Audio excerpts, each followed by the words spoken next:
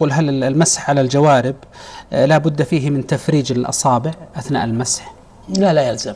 المسح كيفما حصل تحقق يمسح ظاهر الخف ولا يلزم أن يفرج أصابعه في المسح ولا أن يقبضها على يجعلها على هيئتها المعتادة دون قبض ولا تفريج. ويتحقق بذلك المسح. ويكفي مسح الأغلب يعني لا يلزم بل ذهب الفقهاء لو أنه مسح بأصبع كفاه. الحمد لله.